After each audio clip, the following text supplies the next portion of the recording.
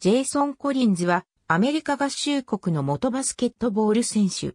カリフォルニア州ロサンゼルス市ノースリッジ出身。身長213センチメートル、体重116キログラム。ポジションはパワーフォワード、センター。スタンフォード大学から2001年の NBA ドラフトでヒューストンロケッツから全体の18番目で指名を受けた。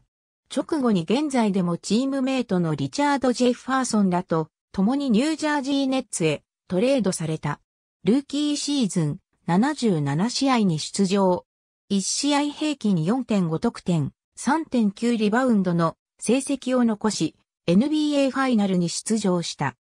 2年目の02から03シーズンから先発のセンターの役割を与えられ、約6シーズンもの間先発の座を守り通し、ネッツの2年連続 NBA ファイナル進出に貢献した。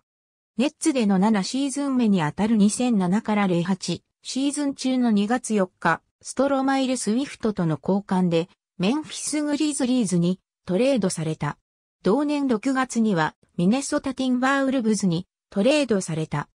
2008から09シーズン終了後、ウルブズは彼と再契約を結ばず、9月2日にアトランタ・ホークスと契約、シーズン終了後にホークスと再契約を果たした。2012年7月31日、ボストンセルティックスに移籍。2013年2月21日、ワシントンウィザーズに移籍したが、同年7月にフリーエージェントとなった。2014年11月19日、引退を表明した。リーグ屈指の準ディフェンシブなセンターで、数字では現れない部分でチームに貢献するタイプの選手である。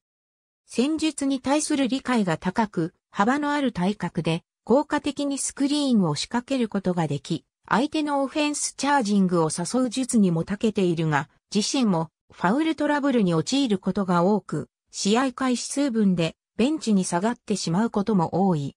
また得点力は皆無と言ってよく、センターとして本来要求されるゴール下での得点力やリバウンド力は極端に低い。ネッツ所属時は数字上の個人スタッツがリーグ下位でありながら、約6シーズンもの間先発の座を守り通しており、コーチからの信頼の高さが伺える。ありがとうございます。